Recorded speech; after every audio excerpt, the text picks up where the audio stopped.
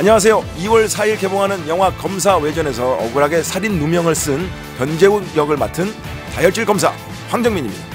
정가구범 사기꾼 한치원 역을 맡은 강동원입니다. 오는 1월 18일 월요일 밤 9시 검사 외전이 네이버 위비토크 라이브로 여러분을 찾아갑니다.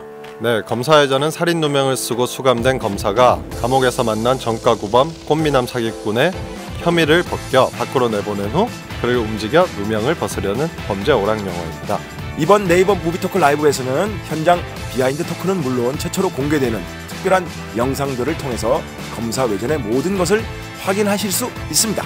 그리고 또 한 가지 검사외전 네이버 movie talk 라이브 사전 예고 페이지에 검사외전에 대해 궁금한 점을 남겨주신 분들 중 추첨을 통해서 생중계 현장에 직접 초대를 할 예정입니다.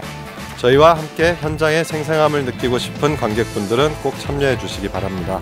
또한 생중계 당일 실시간 참여를 통해서요 저희에게 궁금한 점이나 원하는 것을 올려주시면 직접 답해드리는 Q&A 시간도 준비되어 있으니까 적극적인 참여 부탁드립니다.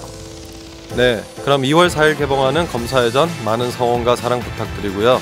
그 전에 저희는 1월 18일 밤 9시 검사외전 네이버 movie talk 라이브로 찾아뵙겠습니다.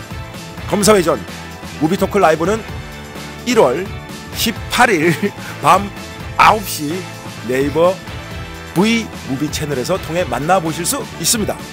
네, 1월 18일 밤 9시 검사외전 네이버 movie talk 라이브 절대 놓치지 마세요. 감사합니다. 감사합니다.